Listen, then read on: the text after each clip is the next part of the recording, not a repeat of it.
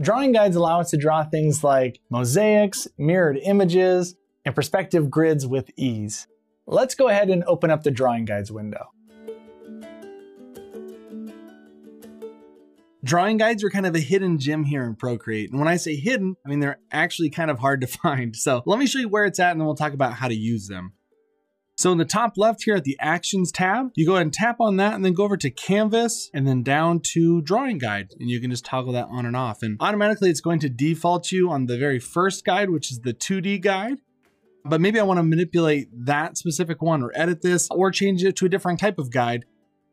I can go down to edit drawing guide right below it, and it opens up our drawing guides interface.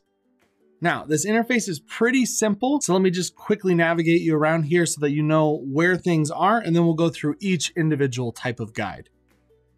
So at the very first, you can cancel out of this in the top right or hit done when you want to apply your changes. But this little bar up here, this little rainbow colored bar, it looks almost just like a decorative thing because it almost fits in with the branding of Procreate.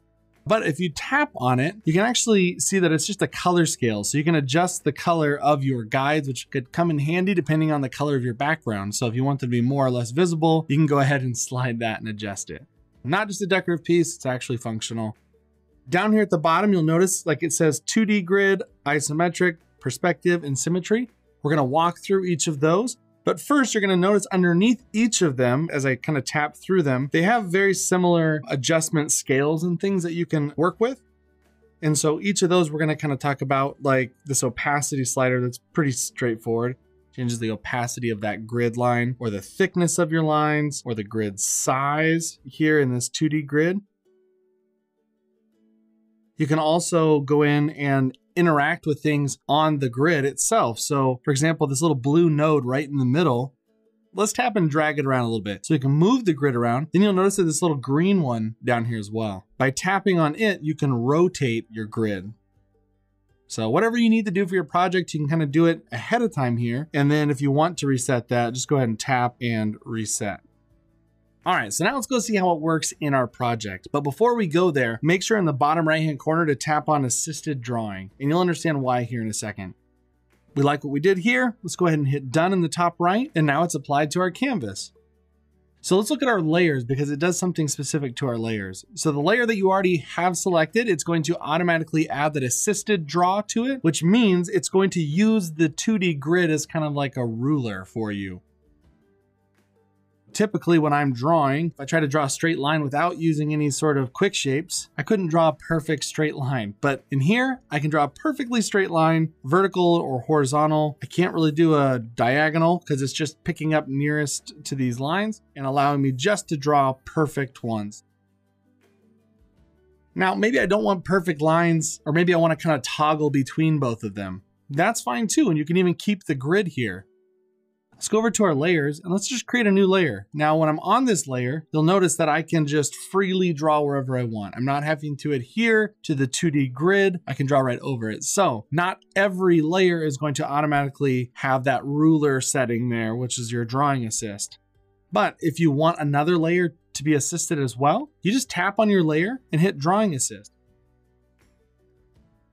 it's a pretty neat function here and you can toggle them on and off. If maybe for just a second you want to be able just to kind of go crazy, but you want to be on this one layer, then you can turn that off, um, but then you can turn it back on over here and hit drawing assist.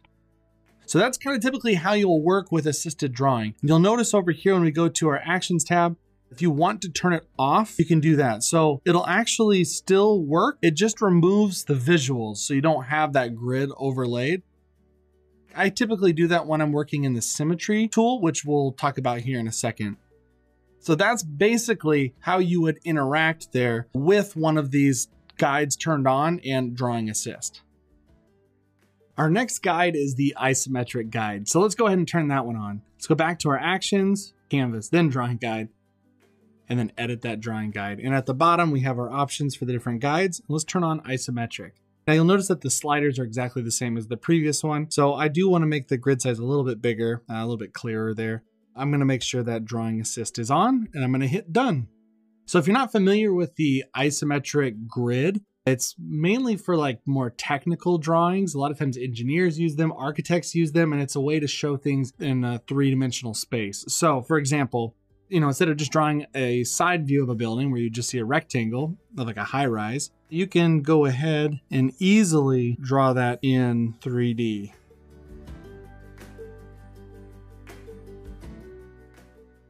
because this is acting again as rulers. So no matter where I, you know, make my marks, it's going to follow those lines unless I turn off assisted, which I'm going to keep it on right now.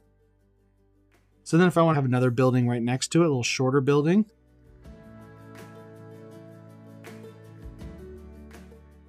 And then if I need to break that grid again, go ahead and turn off the drawing assist and maybe I just want to make my own and that's totally fine too. Or I need to adjust that grid, you know, I need a smaller grid. I can go back and I can edit that drawing again and I can change the grid now, go back. And now when I'm drawing on it, if I make sure it's assisted, now it'll fit on a much smaller grid and I can work on other fine details.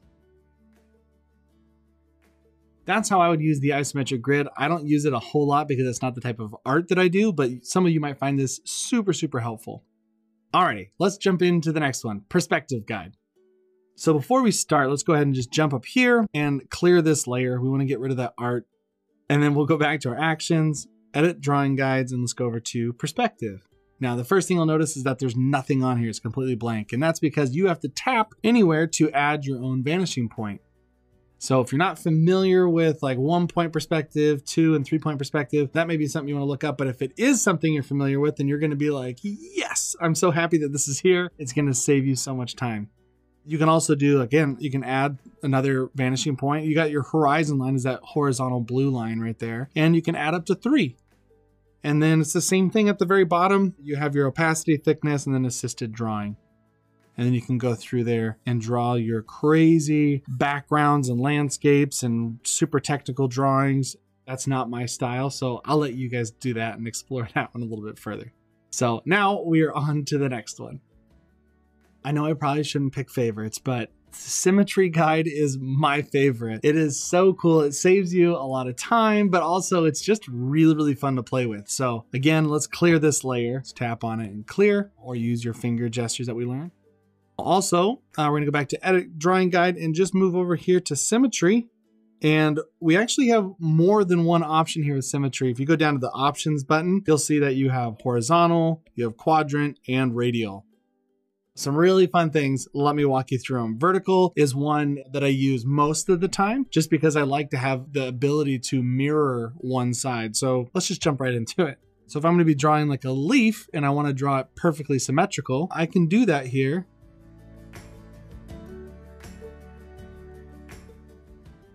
you get the idea. You were able to mirror it. And again, we can always just turn that off if you want to add any other details. And so maybe I want to add like a few little dots here and there. Really, really neat. Can save you a ton of time, especially if you're doing like faces or things like that. I find this tool extremely helpful. I'm going to clear this again. And now we're going to go back in the drawing guide and see what other options we have. So horizontal, I think that speaks for itself. It's the exact same thing, just horizontal. Quadrant is awesome too because you can go through, let's hit done. And I can go ahead. Oh, I got to make sure drawing assist is on. Always make sure your drawing assist is on if you want to use that. so now I can go through and make my shapes and it just mirrors them in a quadrant shape. Going to get rid of this. Let's go to the drawing guides and we'll do radial. Now you have the option here to change the way that it rotates the image, and I'll show you that here in a second. So let's do the radial. This is like if you're gonna draw some sort of mosaic, you could draw an awesome snowflake.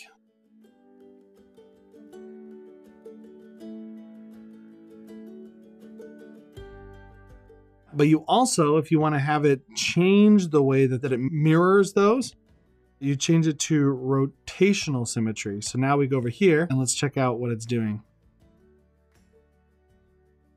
So now it doesn't mirror it from between this one. So if I was to draw an arrow here, it's showing you the direction it's going. Now I'm gonna get rid of that. Let's go back and turn off rotational symmetry. I'm gonna draw those same arrow and notice how it points to each other. So it can make it go kind of follow each other and it just changes the shape, which is kind of neat when you're making different mosaics and things like that. You have lots of different options, but it's just a really neat tool. And again, all of these tools, all of these guides are kind of hidden, but they're like one of my favorite things to use. And hopefully, you're able to use these in your next project. Up to this point, we've been making our own visuals. Now let's bring in some photos and some text.